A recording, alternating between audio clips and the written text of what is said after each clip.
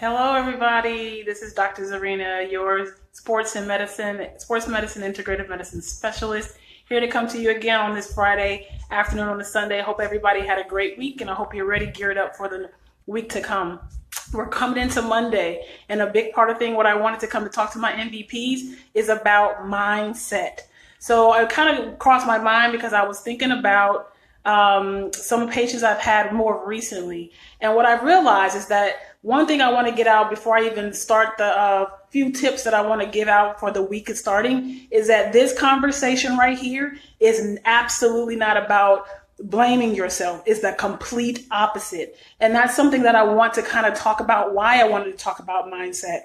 I'll give you the quick example and, I'll t- and that'll kind of give you some context about why I felt like this conversation today was so important to bring to you all, especially as you enter into the week. And if also just to kind of give you some insight about moving forward from day on and day on past this, which is at the end of the day, when it comes to pain, it absolutely is in the mind. It absolutely is in the brain, but not in the way that you think. When people say it's just in my head, um, or I go to many doctors and they tell me it's all in my head, there's nothing wrong with me. I'm here to tell you that that's not true, that there's nothing wrong. But I am here to say that when they talk about pain, absolutely pain is in the brain. And I have to come to you because some of the things that I've noticed over the many years, but it just kind of been a little bit more highlighted, I would say, this week, um, as a lot of patients I've seen that their mindset are has been the triggers. Sometimes we have flares, and what we pick up on is that our flares oftentimes can be stress induced, environmental induced. There may be relationships that are occurring in your in your life that is actually um, um, inducing some of the triggers and some of the flares of pain in your life. And I want to bring a, a press upon you that is so, so important for us to understand the uh, those types of triggers and also develop the coping skills and the mechanisms, mindset, what also may hear as cognitive self-regulation. That's the fancy word that maybe us doctors may use. Hi, Dr. Lakeisha. Hi, Dr. Tony. Thanks for joining me um, just here talking about mindset as it relates to pain, and hopefully we can share this on with most with our patients and also just our clientele that's coming around, our friends, our family, more importantly, because that's so so important when it comes to when we talk about pain. We want to look at what kind of cognitive self-regulation tools do I have to help me get through certain things. That that's not to say that your pain is not real. That's actually actually, if anything, validating that and actually trying to give you tools that doesn't necessarily come in the form of a may not even come in the form of an injection, but that there's some self-regulating tools that we all actually have, but sometimes our tools aren't as sharpened. And those are the things that we have to kind of think about. One tool strategy that I gave, um, with one of my patients, for example, was what do you do, for example, when you find that you have flares? Or what are you doing when you find yourself to have triggers? You feel equipped to deal with those flares? You feel equipped to deal with those um, pain flares or triggers? What do you normally do? They'll say, oh, I try to do some ice or I try to do some heat, whatever that particular area is. Oftentimes, more than not, I would say almost almost 99.9% of the time, I never hear a patient describe to me any stress reducing strategies that they do to try to help their pain flares or help their triggers. And that's so important because as we talked about maybe in some previous videos, and I'll quickly say again, how the pain center is so closely related and so closely tightened to the um, what we call emotional center in our brain, and one does indeed affect affect the other. And if we're not conscious of that aspect of our brains, and when it comes to pain and those flares, then it's going to be very very difficult to us to have long term relief and long term coping mechanisms when it comes to pain. So no matter what I do or what we do in the in the office, right? Because again, I'm not the MVP of this team, right? It's you the MVP, and I'm here to coach, assess, um, coach and cheer, and do all the things that I can do to make sure that you're successful successful and your long term success for your pain freedom, I'm here for that. At the end of the day, though, you are in the MVP. So we need you to be engaged and we need you to have the mindset, the right mindset to have your ultimate pain freedom and to rebound your health completely in the way that you have the most long term success for you, for your loved ones, those people that we just talked about involved as it relates to um, the triggers and those flares that may be happening in your life. So again, back to the tips I wanted to say. One tip that I actually always implore people to do is think about on your day on your daily life or your weekly life, what are you doing on a regular basis from a preventative standpoint and not just trying to reduce the flare once it happens, but to prevent them. Which means we can't all avoid stress, right? No, we can't avoid stress. We can't necessarily always avoid pain. We can't always avoid flares, but we can do the things that are considered preventative to manage that they're either going to be reduced in frequency or reduced in t- intensity so that we can have a better outcome. Okay. So one of those things I told, I, I, challenged my patients, a lot of my patients this week was to identify what in your life that you used to do that you don't do any longer.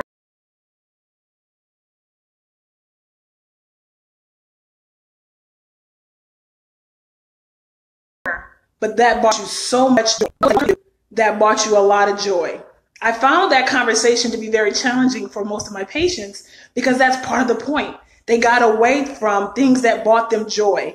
And we just talked about the mindset that happens with the pain center and also when it comes to the emotional center in the brain and how closely related they are. If we are not tapping into those aspects of our brains and our body because it's part of our overall health, then we're going to miss out on the opportunities to be, to prevent, manage, reduce the amount of pain that we have, the frequency of pain we have. So that's extremely important. So my challenge for them was before they come back to see me is that they had homework and your homework is to identify what at least one thing is that you used to do that you don't or currently do and reintroduce that into your life on a regular basis. Now that may be hard, like every day, Dr. Z, Dr. Z. Yes, every day. However, I understand I got to meet you where you are. So some of you that might mean come back to me at least and say, I was able to do it twice a week. And then we can gradually work on that. But I got to get you to commit to doing something that you used to do, that you don't currently do, that brought you joy. Why? Because that increases the endorphins in our brain. That also helps with the cognitive self regulation of our perception of what is happening in our life. Again, we can't always reduce the stress completely. We can't get rid of. I have stress too. Yes, Dr. Zarinah, Dr. Z have stress. Trust and believe. Those who know me and love me know that I get stressed too. But what I try to do is identify and change my perception. So it indeed is cognitive self-regulation. That's the fancier word for just saying improving my mindset, changing my mindset, changing my perception of what I see in front of me. So I said, oh my gosh, my leg hurts so bad. It doesn't mean that my leg is going to stop hurting because I said, no, it don't. My leg don't really hurt. But what I am saying is, okay, what can I do to reduce this pain and also change my mind about how horrible it is? Is it the worst thing ever in life? Some of you might answer yes. This is the worst pain ever in life and it consumes me. But that is, you are the one that I'm actually talking to. Okay. I'm talking to you, the one who says, I can't deal. That is part of the cognitive self regulation where I want to press upon you to find that space, that mental space, that silent space that is going to allow you to change your perception. One way of doing that is actually finding a physical quiet space that is actually very helpful and the, and the research and science really um, supports that because it, what it does is allow you to kind of center yourself to kind of find a space where the chaos is not completely right there in your face then what you do from there is breathing exercises actually do work and we could talk about that um, some specifics about that later on but also and more importantly is identifying um, and then it may be that you know well, we talked about the breathing exercises, but also just identifying in that space and time, um, changing your mind about how horrible it is. Okay. And that literally means it's a choice. Not pain is a choice, but what you choose to how you perceive is going to be a choice. So that, that is uh, more than anything, it wasn't so much about me giving you a lecture. So I definitely don't want that to be what this um, comes off to be. I'm really, really, really trying to implore upon you because I have so many patients this week. It seems to be that one thing they didn't do when they had flares was center themselves. One thing they didn't have in their coping skills toolbox was how do they introduce things into their lives that are bringing them joy to that also can change their mindset, change their the the perception of what is going on with that pain. Okay. So any questions about that? Uh, let me see. Let me scroll down just see if I had any questions. Any questions? All right. Hey everybody. Hi Jamila. Thanks for joining us masking yourself for you look okay okay? So that that was kind of that was wanted to make sure i answered any questions about that. Another thing that i also encourage patients to do besides again introducing something weekly on the on a weekly basis that you used to do that you don't currently do that brings you joy okay? And this is something i want to be not surrounded around someone else.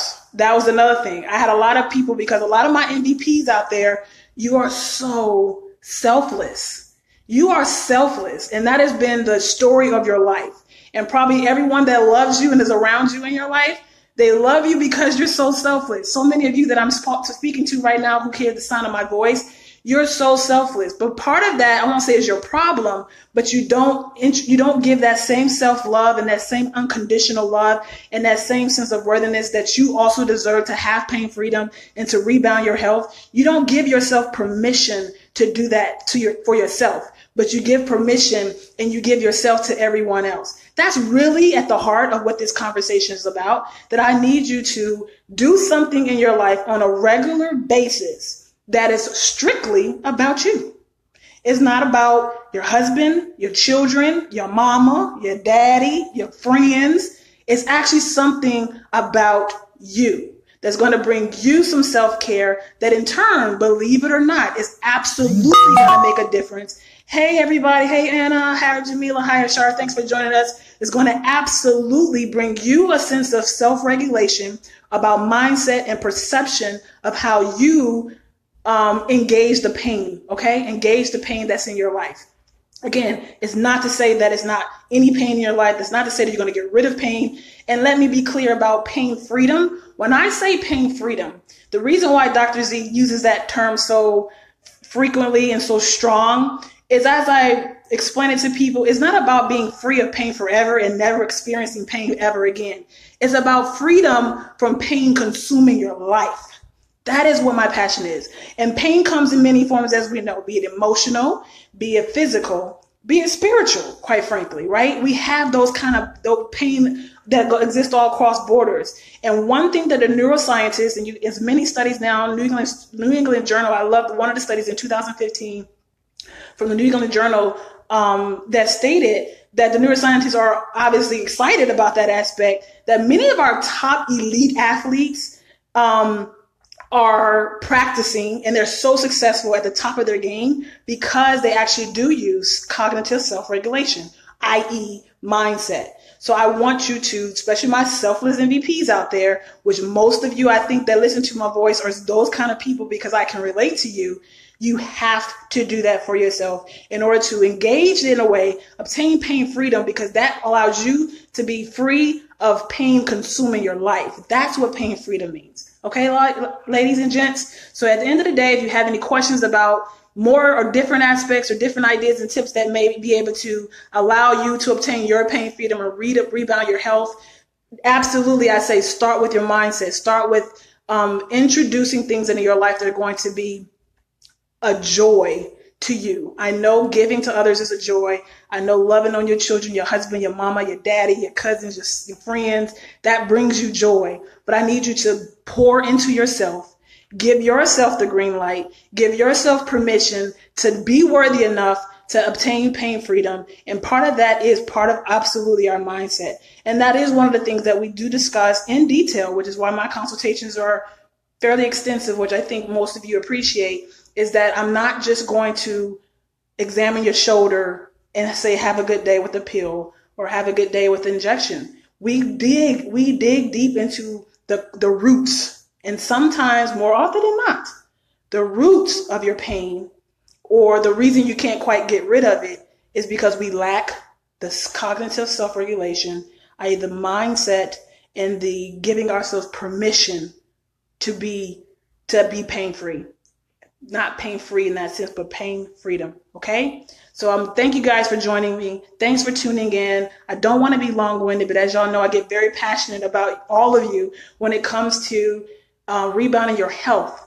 And that we can't ignore the aspect of pain as it relates to our health that comes from the mindset. our, our self-regulation cognitive tools that um, are absolutely indicative for us to engage and to process and to an- assess and to analyze and to make sure that we can have a hold on that, okay, so that we can truly obtain pain freedom, pain freedom and rebounding your health. Again, you can reach me on all social media outlets um, at Dr. Zarinah. That's D R Z A R I N A H. I am your sports medicine, integrative medicine specialist. I love guys. I appreciate all your time. Please, if you like this or if this kind of makes some sense to you, go ahead and share it. It may be some family and friends that can it'll resonate with. If it didn't quite resonate with you, you can share it with um, your family, like yeah, your friends and family. You can click uh, get notifications so that you'll know when I'm coming up next on some more live videos.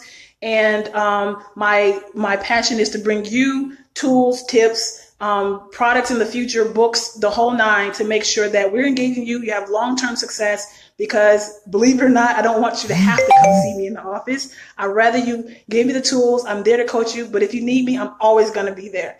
Thanks for joining me. Thanks everybody.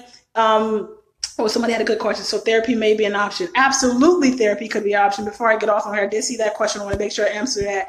Therapy can be an option, and oftentimes, more often than not, I absolutely do believe, and most of my patients know this about me, when we're trying to um, address chronic pain in particular, um, the best way is to make sure that you also have some resource in place, be it therapy, already in therapy. We sometimes have to um, get people in therapy so I'll help you um, assess if you need to do that or not along with the pain management tools that we're doing in my office because you can't necessarily address one without the other. That is my point. Absolutely great question, um, Mrs. Shara. That's a great question. And that's a, something that I do want to press upon. If that wasn't quite clear um, at this point, I want to make that very clear. They're very, very important that we have to address the mental along with the physical. And um, if we're not addressing both, we're going to miss the boat on it. And oftentimes, if you're especially in that category of chronic pain, meaning like you've been in pain for six months or longer, we have to engage the cognitive, the mindset, the social pains, the emotional pains that you may be in, um, enduring and just not quite sure of what tools to do, what tools that, that you need to make sure you're managing those, which in turn will help your shoulder pain, your back pain, your neck pain. Um, absolutely. So that is a great question. Um, do you have any some recommendations specifically about therapists? Not specifically about any therapist. Um, I don't really plug specific therapists because um, sometimes what I do believe that sometimes that is a trial and error, just like with me. I'm not fit for everybody, and that's okay. But in terms of really making sure that you get someone who can um, help you at the end of the day, that you jive, that you gel, and I'm not necessarily going to tell you what you want to hear, but tell you what you need to hear. Um, but definitely have a true interest and a true um, a true passion to help you, as I do for sure, and everybody who knows me or been through my office or knows me personally, I am indeed just passionate about your you winning. That's what I'm really passionate about. Um, so no, no specific therapy questions. I mean, no specific, specific therapist recommendations. Um, anybody else had a question in there? I just want to make sure I get all your questions since I'm here. I don't see any specific questions, but again, thank you for watching. I'll be back to see you guys again um, next week. Dr. Zarinah, D R Z A R I N A H on all social media outlets. It's Instagram, LinkedIn, Pinterest, even, which I love Pinterest. Many you know that too. Uh, YouTube, Facebook, Twitter, Instagram. Find me there. Follow me. Tweet me engage me. If you'd like to reach my email, that's admin at Dr. Zarinah. So that's A-D-M-I-N at drzarinah.com. I hope to talk to you guys soon. Thanks for joining me. Share it, link it, and we'll talk soon.